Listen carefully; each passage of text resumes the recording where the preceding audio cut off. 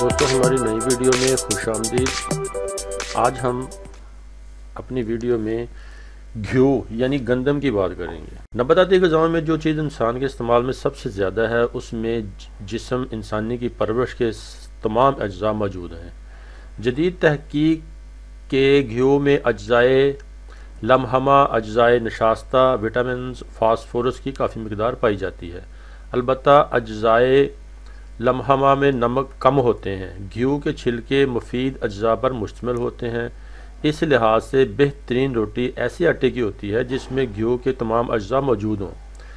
ایسا آٹا صرف ہاتھ کی چکی، خراس یا پن چکی میں ہی ہو سکتا ہے۔ آج کل عام طور مشینوں کا پسا ہوا باریک آٹا استعمال میں لایا جاتا ہے اور زیادہ پسند کیا جاتا ہے، مگر مشین کی تیز حرکت گھیو کے مفید اجزاء کو جلا دیتی ہے اور اس طرح وٹامنز ضائع ہو جاتے ہیں اور زیادہ باریک ہونے کی وجہ سے بہت ثقیل اور دیر ہضم ہوتے ہیں۔ ایسے آٹے کی روٹی کھانے سے مختلف شکایات پیدا ہو جاتی ہیں۔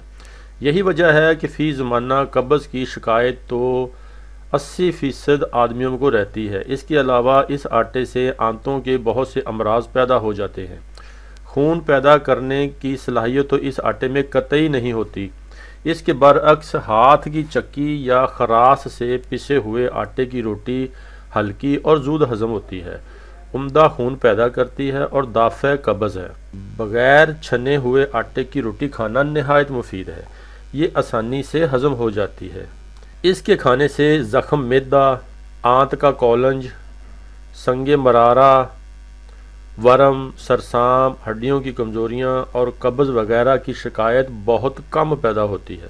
دراصل، ان چھنا آٹا کھانے سے میدے اور آنتوں کو غذا کی کافی مقدار بہم پہنچ جاتی ہے، جس کے باعث اس کے اندر خمیر پیدا کرنے کی قوت اور غذا کے ہضم کرنے کی استعداد بڑھ جاتی ہے۔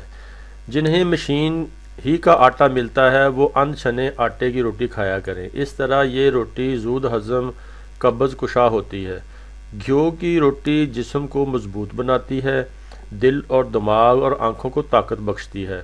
خون، گوشت اور مادہ تولید پیدا کرتی ہے اور گھیو کے آٹے سے سوجی، روا اور میدا حاصل کیا جاتا ہے۔ اس سے مختلف قسم کی مٹھائیاں بنائی جاتی ہیں، جو شکیل اور دیر ہضم ہوتی ہیں۔ گھیو کا میدا شکیل اور قابض ہوتا ہے، البتہ سوجی زود ہضم ہے اور اس میں غذائیت بھی زیادہ ہوتی ہے۔ تو دوستو، آپ کو ہماری ویڈیو پسند آئے تو سبسکرائب کریں، لائک کریں، شیئر کریں تاکہ آپ کو ہماری آنے والی ہر نئی ویڈیو کی اپڈیٹس ملتی رہیں۔ شکریہ